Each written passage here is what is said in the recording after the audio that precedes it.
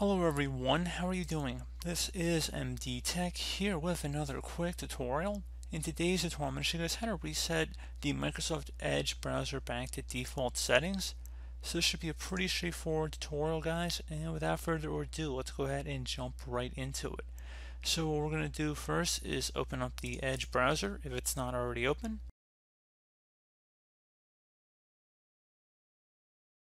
And we're going to select the three dotted icon on the far left side where if you hover over it, it says settings. So go ahead and left click on that and then select settings near the bottom of the drop down list.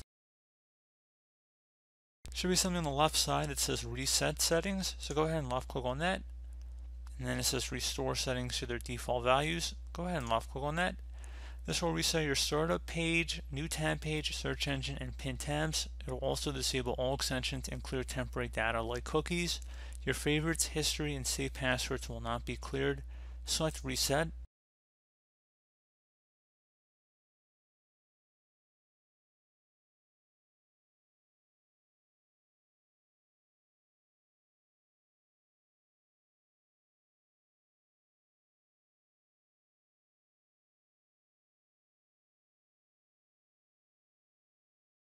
It might take a moment to take effect and you will have to restart your web browser again for that to take effect but again it took a couple moments for it to actually go away for the little pop-up to minimize and now we should be able to close out of the browser and then again relaunch it and that should be about it.